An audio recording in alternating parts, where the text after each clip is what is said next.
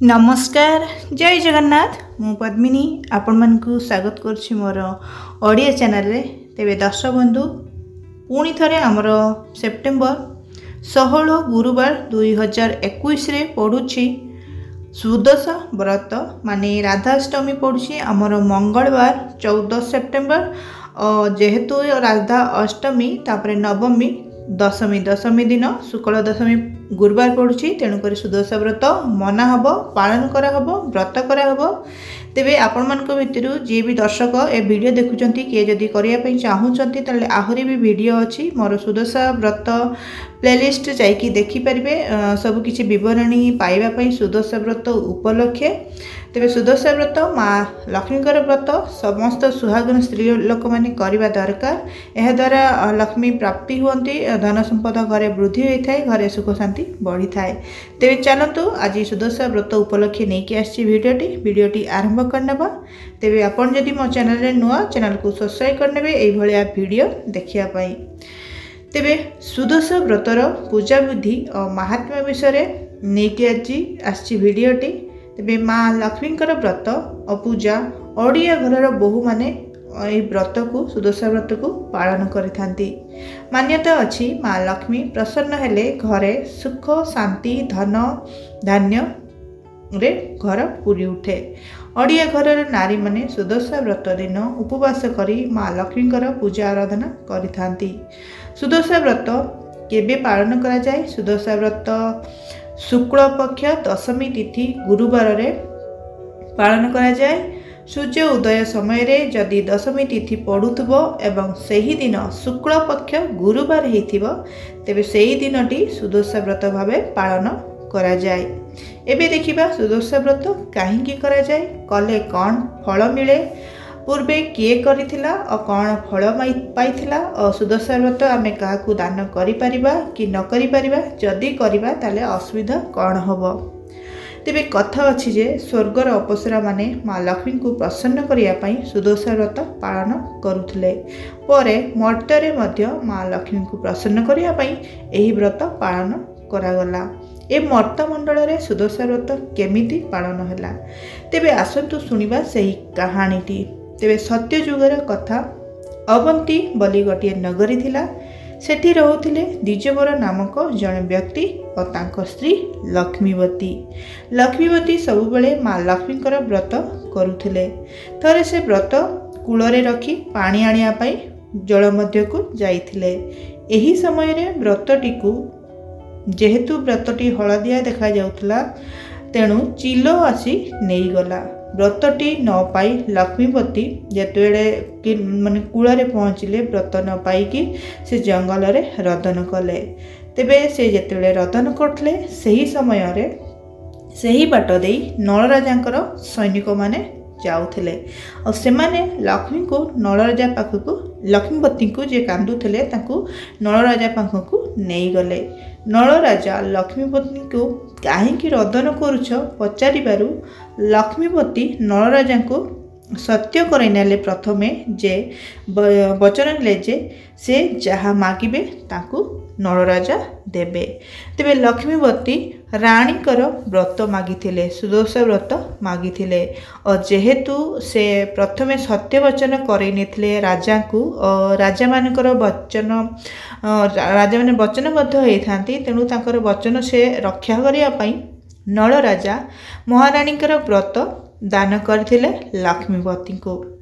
ଆଉ ଯେହେତୁ ସେ ସୁଦଶା ବ୍ରତ ଦାନ କରିଦେଲେ ମା ଲକ୍ଷ୍ମୀଙ୍କୁ ଦାନ କରିଦେଲେ ଫଳରେ ନଳରାଜା ଲକ୍ଷ୍ମୀ ଛଡ଼ା ହୋଇ ତାଙ୍କର ରାଜ୍ୟ ଓ ଧନ୍ୟଧାନ୍ୟ ହରାଇ ବସିଲେ। ନଳରାଜା ତାଙ୍କର ନିଜ ରାଜ୍ୟ ହରାଇ ବସିଲେ। ତେଣୁ ପରେ ସେ ରାଜା ନଳ ଓ ରାଣୀ ଦମୟନ୍ତୀ ଅନ୍ୟ ରାଜ୍ୟରେ ଯାଇ ବାସ କରି ରହିଲେ। ସେହି ବର୍ଷ ପୁଣି ଥରେ ପଡ଼ିଥିଲା ଅ, ଶୁକ୍ଳ ପକ୍ଷ ଗୁରୁବାର ଦଶମୀ ଓ ସେହିଦିନ ରାଣୀ ପୁଣି ଥରେ ସୁଦଶା ବ୍ରତ ପାଳନ କଲେ। ଓ ରାଣୀ ଦମୟନ୍ତୀ ସୁଦଶା ବ୍ରତ ପାଳନ କରିବାରୁ ମା ଲକ୍ଷ୍ମୀ ପୁଣି ଥରେ ତାଙ୍କ ଉପରେ ପ୍ରସନ୍ନ ହେଲେ ଓ ଫଳରେ ନଳରାଜା ଓ ତାଙ୍କ ରାଜ୍ୟ ଓ ଧନଧାନ୍ୟ ଫେରି ପାଇଲେ ଏହିପରି ଭାବରେ ସମସ୍ତେ ମା ଲକ୍ଷ୍ମୀଙ୍କର ମାହାତ୍ମ୍ୟ ଜାଣିବାକୁ ପାଇଲେ ରାଜ୍ୟ ରାଜ୍ୟ ଏହି କଥା ବ୍ୟାପିଗଲା ଓ ମର୍ତ୍ତ୍ୟମଣ୍ଡଳରେ ମଧ୍ୟ ପ୍ରତ୍ୟେକ ନାରୀ ଏହି ବ୍ରତ କରିବାକୁ ଲାଗିଲେ ମା ଲକ୍ଷ୍ମୀଙ୍କର। କୃପା ପାଇବା ପାଇଁ ଘରେ ସୁଖ ଶାନ୍ତି ସମୃଦ୍ଧି ଧନ ଧାନ୍ୟ ବଢ଼େଇବା ପାଇଁ। ତେବେ ଆପଣମାନେ ଯଦି କରିବାକୁ ଚାହୁଁଛନ୍ତି କିଏ କରିନାହାନ୍ତି ଆରମ୍ଭ ତାହେଲେ ସୁଦଶା ବ୍ରତର ନିୟମ କେମିତି କରିବେ ପୂଜା ଜାଣନ୍ତୁ ଚାଲନ୍ତୁ ଜାଣିନେବା। ତେବେ ଏହି ବ୍ରତ ବିବାହିତା ନାରୀମାନେ ପାଳନ କରିଥାନ୍ତି। ସୁଦଶା ବ୍ରତ କାହାକୁ ଦାନ କରାଯାଏ ନାହିଁ। ଏବେ ଏବେ ତ ଶୁଣିଲେ ଦାନ କଲେ କ'ଣ ଅସୁବିଧା ହୁଏ। ତେବେ ଏହି ବ୍ରତର ପ୍ରସାଦ ବା ଭୋଗ ମଧ୍ୟ ବାହାର ଲୋକଙ୍କୁ ଦିଆଯାଏ ନାହିଁ ଏମିତିକି ବିବାହିତା ଝିଅ ମଧ୍ୟ ଖାଇପାରିବ ନାହିଁ। କାରଣ ସେ ଅନ୍ୟ ଘରର ବୋହୂ ହେଇଯାଇଛି ଓ ଅନ୍ୟ ଘରର ହେଇଯାଇଛି। ତେବେ ଏହି ବ୍ରତରେ ହଳଦିଆ ସୂତାରେ ମା ଲକ୍ଷ୍ମୀଙ୍କର ନାମରେ ଦଶଗୋଟି ଗଣ୍ଠି ଦେଇ ସ୍ତ୍ରୀ ଲୋକମାନେ ନିଜର ଡାହାଣ ହାତରେ ଏହି ବ୍ରତଟିକୁ ଧାରଣ କରନ୍ତି। ଓ ପ୍ରଥମ ଥର ଦଶ ଗୋଟି ଗୁଆରେ ପୂଜା ଆରମ୍ଭ କରାଯାଏ। ସେହି ଗୁଆ ପ୍ରତ୍ୟେକ ବର୍ଷ ପୂଜା କରାଯାଏ। ଓ ଯଦି ବର୍ଷକୁ ବର୍ଷ ଯେହେତୁ ଆମେ ବ୍ରତ କରୁ ତ ବ୍ରତ ଆମର ବେଶୀ ହୁଏ। ତ ନୂଆ ବ୍ରତ ବିନ୍ଦୁ ପୁରୁଣା ବ୍ରତଟିକୁ ସାଉତିକି ରଖି ଦେଇଥାଉ। ତେବେ ସୁଦଶ ବ୍ରତରେ ମା ଲକ୍ଷ୍ମୀଙ୍କୁ ସୁମରଣ କରି ଦଶ ଗଣ୍ଠି ଦଶ ଗୋଟି ଗଣ୍ଠି ଦିଆଯାଇଥାଏ। ଏହି ଦଶ ଗଣ୍ଠି ଦଶଟି ଗଣ୍ଠି ମା ଦଶ ମା ଲକ୍ଷ୍ମୀଙ୍କର ଦଶଟି ନାମ ପାଇଁ ଉଦ୍ଦିଷ୍ଟ। ତେବେ ଦଶଟି ନାମ ଜାଣି ରଖନ୍ତୁ। ପ୍ରଥମ ନାମଟି ହେଉଛି ଲକ୍ଷ୍ମୀ ନାରାୟଣୀ। ଓ ଦ୍ୱିତୀୟ ନାମଟି ହେଉଛି କମଳିନୀ। ତୃତୀୟ ନାମଟି ହେଉଛି ଶ୍ରୀ ହରି ହରପ୍ରିୟା ଚତୁର୍ଥ ନାମଟି ହେଉଛି ପଦ୍ମାଳୟ। ପଞ୍ଚମ ନାମଟି ହେଉଛି କମଳା ଷଷ୍ଠ ନାମଟି ହେଉଛି ଚଞ୍ଚଳ ସପ୍ତମ ନାମଟି ହେଉଛି ବିଘ୍ନେଶନୀ ଅଷ୍ଟମ ନାମଟି ହେଉଛି ସିନ୍ଦୁର ଦୁଲଣୀ ନବମ ନାମଟି ହେଉଛି ଦୁର୍ଗତି ନାଶିନୀ ଦଶ ଦଶମ ନାମଟି ହେଉଛି ବିଷ୍ଣୁ। ପାଟରାଣୀ। ତେଣୁକରି ମା ଲକ୍ଷ୍ମୀଙ୍କୁ ଶ୍ରୀ ଚଞ୍ଚଳ ଶ୍ରୀ ହରିପ୍ରିୟା କୁହାଯାଏ ଯିଏକି ଚଞ୍ଚଳମତି ଅ ସମସ୍ତେ ଯଦି ତାଙ୍କର ନିଜ ମାନେ ମା ଲକ୍ଷ୍ମୀଙ୍କର ଭଲ ଭାବରେ ସୁମରଣ କରିବେ ତାଙ୍କର ନିୟମ ମାନିବେ ତାହେଲେ ଯାଇ ମା ଲକ୍ଷ୍ମୀ ଘରେ ଘରେ ବିରାଜମାନ ହୁଅନ୍ତି। ତେବେ ସୁଦଶା ବ୍ରତ ଥରେ ଆରମ୍ଭ କଲେ ମଲା ପର୍ଯ୍ୟନ୍ତ ଏହି ସୁଦଶା ବ୍ରତ କରାଯାଇଥାଏ। ତେବେ ଯିଏ ଶାଶୁ ହେଇଯାଆନ୍ତି ସେ ତାଙ୍କର ବୋହୂଙ୍କୁ ସୁଦଶା ବ୍ରତ ଦାନ କରନ୍ତି ଓ ଦାନ କଲା ପରେ ସେ ବୋହୂମାନେ ନୂଆ କରି ବ୍ରତ ଆରମ୍ଭ କରନ୍ତି। ତେବେ ଏଥର ଚାଲନ୍ତୁ ଜାଣିବା ମା ଲକ୍ଷ୍ମୀଙ୍କର ସୁଦଶା ବ୍ରତ ପୂଜାବିଧି। ତେବେ ସୁଦଶା ବ୍ରତ ପୂଜାବିଧି ସ୍ପେଶାଲ ବହି ମିଳିଥାଏ।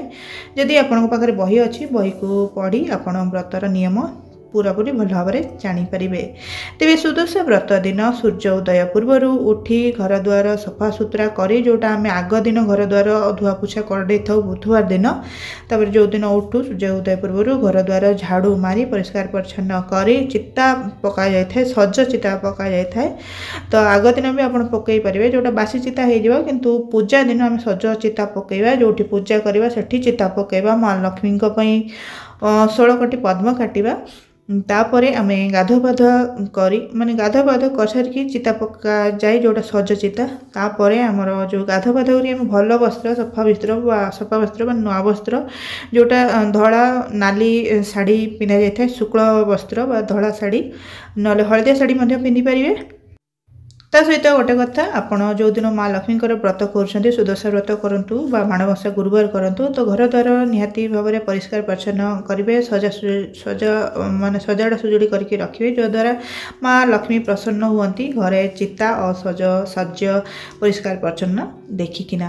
ତେବେ ଏହି ବ୍ରତ ବ୍ରହ୍ମ ମୁହୂର୍ତ୍ତରେ କରାଯାଏ। ପ୍ରଥମେ ମାଙ୍କ ପାଦ ପଦ୍ମ ପୂଜା କରାଯାଏ। ମା ଲକ୍ଷ୍ମୀଙ୍କର ଯଦି ମୂର୍ତ୍ତି ଥାଏ ପିତ୍ତଳ ମୂର୍ତ୍ତି ଆପଣ ପିତ୍ତଳ ମୂର୍ତ୍ତିକୁ କରିପାରିବେ ପୂଜା ନହେଲେ ଯଦି ଫଟୋ ଚିତ୍ର ଥାଏ ଫଟୋରେ ମଧ୍ୟ ମାଙ୍କୁ ପୂଜା କରିପାରିବେ। ତେବେ ଏଥିରେ ମାଙ୍କୁ ଘରକୁ ନିମନ୍ତ୍ରଣ କରାଯାଏ ସଂକଳ୍ପ କରାଯାଏ। ଦ୍ୱିତୀୟରେ ଅନ୍ନ ଭୋଗ ବା ମଣ୍ଡା ଭୋଗ କରାଯାଇଥାଏ। ଦଶ ଗୋଟି ମଣ୍ଡା ଭୋଗ ଦଶ ପ୍ରକାର ଯେଉଁ ଆମର ପୁର ଦିଆଯାଇଥାଏ ଯେମିତିକି ନଡ଼ିଆ କଦଳୀ ଛେନା ଗୁଡ଼ ଗୋଲମରିଚ ଏମିତି କରିକି ଦଶ ପ୍ରକାର ପୁର ଦିଆଯାଇଥାଏ। ଦଶ ଗୋଟି ମଣ୍ଡା ଦଶ ଗୋଟି ଗୁଆ ବ୍ରତରେ ହଳଦିଆ ବ୍ରତରେ ଦଶ ଗୋଟି ଗଣ୍ଠି ପକାଯାଏ। ମାଙ୍କର ଦଶଟି ନାମ କହିକିନା ତା ସହିତ ଦଶ ମୁହାଁ ଦୀପ।